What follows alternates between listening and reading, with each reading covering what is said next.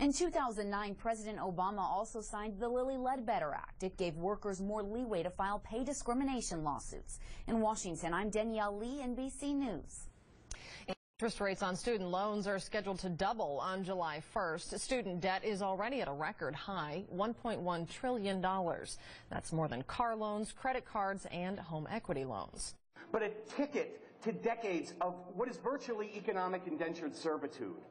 And what we found, if you have a four-year degree in the state of Wisconsin, you are paying off student loans at $350 a month for over 18 years. Wisconsin Congresswoman Gwen Moore is concerned an increase in student loan interest will discourage students from going to college or technical school.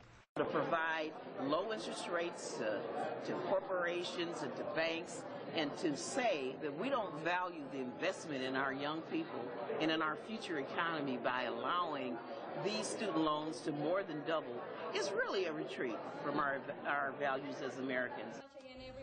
37 million Americans carry student loan debt. Well, Storm Team 4 now. Summer weather, trying. it's a little engine that could. We will actually get a nice warm up tomorrow, believe it or not. Storm Team forecaster Brian Gotter is here.